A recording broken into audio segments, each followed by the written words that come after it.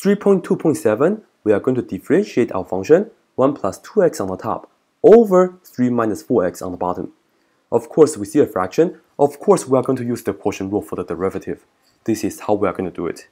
Let us label the top as the red f function and the bottom as the red g function. This g is not the same as the original g. This is just my notation. And this is how you do it. Keep in mind, quotient and product, they are different. They are opposite of each other. So for the quotient rule, we are going to write down the g part first. So g is equal to 3 minus 4x. And I'm also going to write down the f on the side. f is the top part, 1 plus 2x. And once you write down these two functions separately, we are going to differentiate them separately. So the derivative of 3 is equal to 0, the derivative of negative 4x is equal to negative 4. And right here, take the derivative of f right here, derivative 1 is equal to 0, derivative of 2x is equal to 2. And now we are ready with these ingredients that we just found. We are ready to build up our quotient rule for the derivative. So our original notation is going to be you know, g prime of x for the original derivative of this quotient. So here's the deal. You start off with a fraction, you are going to end up with a fraction as well. Draw the fraction bar. Get ready.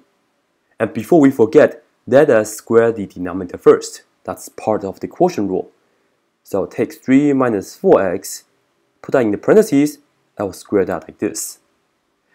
And on the top, this is where you are going to use, right? This is um, the ingredients that you are going to use for the top part. You are going to take this and pair up with the 2. You multiply them together, so you end up with 3 minus 4x in the parentheses and multiply that by 2. And for quotient rule, you are going to subtract, okay?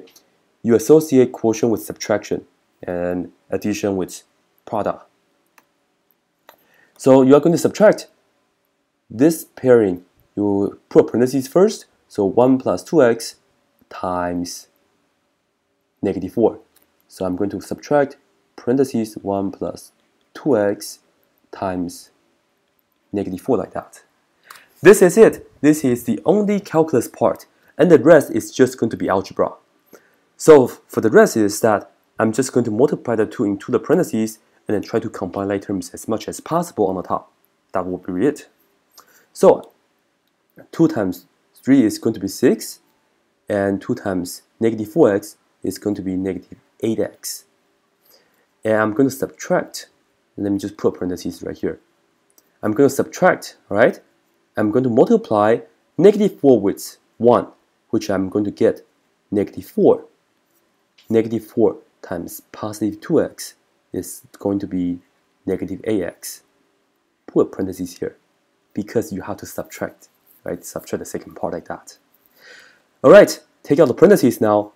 This part doesn't really matter. The parentheses doesn't matter. 6 minus 8x. But for the second part, minus minus becomes plus 4. Minus minus becomes plus 8x.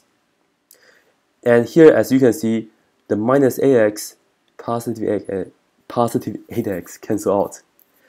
So that's pretty much the regular algebra that you used to do, right?